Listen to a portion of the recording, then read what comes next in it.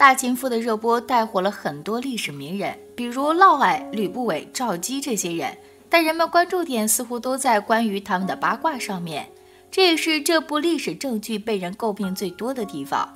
但是有个人物没出现的时候，弹幕里无数人都在呼喊他的名字，都想知道他什么时候上线。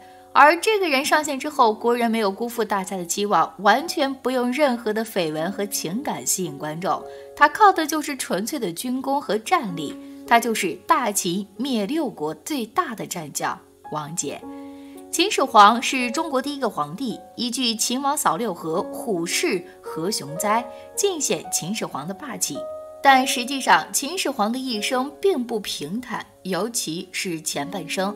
他遇到好几次大的风险和挫折，这里面秦始皇遇到的第一次重大挫折就发生在秦始皇继位后的第十年，也就是他加冠礼的这一年。按照惯例，十三岁登基的秦始皇这一年也到了亲政的年纪。就在这一年，发生著名的嫪毐之乱，秦始皇命悬一线，最终秦始皇剿灭了叛乱，并且借助嫪毐的事，连带着赵太后和相国吕不韦全部下台。这一年，秦始皇开始亲政，也是第一次把权力牢牢抓在自己的手里。你如果把事情想的就是这么简单，那你在宫廷政治中活不过第二集。在嫪毐之乱中，嬴政的确是平定了嫪毐，顺带着太后和相国很快下台。但是很快，另一股势力就填补他们原来的权利，这就是华阳太后的储蓄势力，平定嫪毐之乱的昌平君和昌文君。就是楚系势力的代表，而且吕不韦之后，昌平君继任丞相之后，嬴政的确是收回不少权力，但还不能完全乾纲独断。这里面楚系势力依然非常强大。秦始皇十七年发生两件大事，第一件大家都知道，那就是秦始皇派内史腾灭韩，擒获了韩王安，在那里设置颍川郡，秦国统一大业，最后一幕正式开启。这一年还有一件大事，那就是华阳太后之死了。她是享尽尊荣之后死的，并没有电视剧里演绎的被幽禁之类的桥段。楚系集团的头面人物去世了，这在秦国政坛可以说是不亚于一场大地震。很快，这场大地震效果开始显现。华阳太后去世之后，昌平君很快也被罢免了职务。秦始皇把楚系势力彻底清除，目的就是为了要灭楚。这一次宫廷变化与当年亲政的时候差不多，秦始皇这一次终于可以彻底自己做主。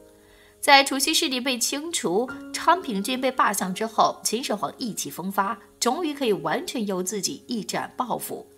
秦始皇二十一年，急于求成的嬴政没有采纳老将王翦的建议，最终派李信率领二十万大军发动了灭楚之战，这相当于是秦始皇第二次亲政。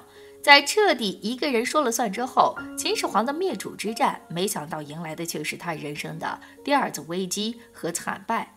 秦始皇怎么也没想到，李信的二十万大军灭楚，迎接他的竟然是惨败。惨败的一个主要原因是昌平君突然叛变，给李信的大后方造成威胁。李信无奈之下回击昌平君，结果被两面夹击，大破秦军两营兵力，斩杀秦军七个都尉。这是秦灭六国最惨重的一次失败，也让彻底掌握了权力的秦始皇明白了，老将王翦说的需要六十万大军才能灭楚是老成持重之词。秦始皇的政治水平是非常高的，他并没有因为之前罢免了王翦就和王翦置气，很快放下身段来请王翦出山。而作为老将，王翦心里更是明白，嬴政来请自己，自己肯定是要去的。因为白起的例子就活生生的摆在自己面前，白起就是因为无端被罢免，最后和秦王置气，就是不肯再次出山，结果被秦王赐死。决心出山的王翦，为了让秦始皇放心，向他提了很多看似过分的要求，请美田宅院持慎重，以请田宅为子孙业耳。出关前又连续五次求赐美田，连部下也开始担心会不会太过分。王翦才说出自己的用意。秦王生性多疑，如今秦国全国士兵尽交到自己手中，此时唯有向秦王众多要求，才可以表明自己除了金钱以外别无他求，借此消除秦王怕他拥兵自立的疑惧。看到这里，你大概就明白什么叫伴君如伴虎了。王翦这一套组合拳下来，果然迎着面对一心安享晚年的王翦非常放心。六十万大军可是秦国的核心家当，交给王翦的时候必须是放心的。而且还有一个细节一定要注意，这里就要翻看前面的故事，那就是嫪毐造反的事儿。很多人都记住了嫪毐造反的时候，身份是太后的男宠。事实上，嫪毐之所以敢叛乱，而且还有那么多人跟随他，是因为嫪毐还有一个更重要的身份——长信侯。秦国之所以强大，就是因为改革了爵位制度，非有功不能封侯。而嫪毐所封的是秦国爵位中最高的一级——列侯。王翦在灭楚前，那也是战功赫赫的，但是依然不足以封侯。这次出征，老将王翦还有一个重要请求，那就是封侯。秦始皇许诺他灭主之后就封侯，王翦也在不断的要钱、要田、要官中，彻底让秦始皇打消了疑虑。最终，在老将王翦步步为营的打法之下，楚国这个当时战国地盘最大、势力也最为广阔的国家，最后被秦国所灭。自此，秦国统一迈出了最坚实的一步。此后的战斗基本上就是摧枯拉朽式的。古代君权体制下，功高震主是一件非常麻烦的事情。又是像王翦这种六国之中五国都是他灭的，这样的功劳完全能够够得上功高震主。但王翦是个有智慧的人，身为战国四大名将，他的下场是最好的，最能打的白起，从无败绩替秦国彻底消灭主要对手的有生力量，最终的下场是被迫自杀。其他两位廉颇和李牧纵有天才之能，但赵王实在昏庸，再加上秦国势不可挡，依然是免不了失败和被杀的命运。只有王翦实现了最大的功业和最好的着落。灭楚之后，王翦终于实现了自己封侯的理想，被封为武成侯，并最终全身而退，成为后世无数权臣武将的典范。而且子孙也都是很厉害。王翦是唐朝琅琊王氏和太原王氏的始祖。这样的成就和后代足以让很多人羡慕不已，企图效法王翦的做法来消除皇帝的戒心。最著名的就是魏忠贤的例子。只可惜他这样的人只学到了形，完全没有学到神，最后下场凄惨。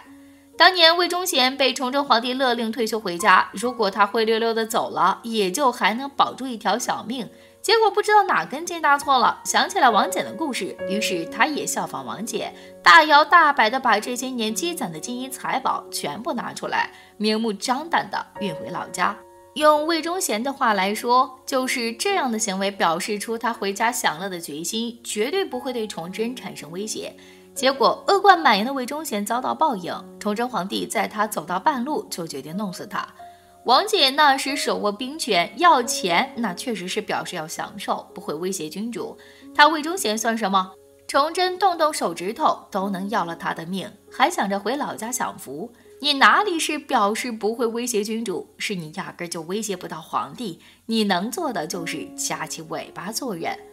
封建时代特征就是这样，君主和臣子最大的矛盾就是。皇帝既希望臣下有能力立大功，同时又害怕功劳太大威胁到自己的地位。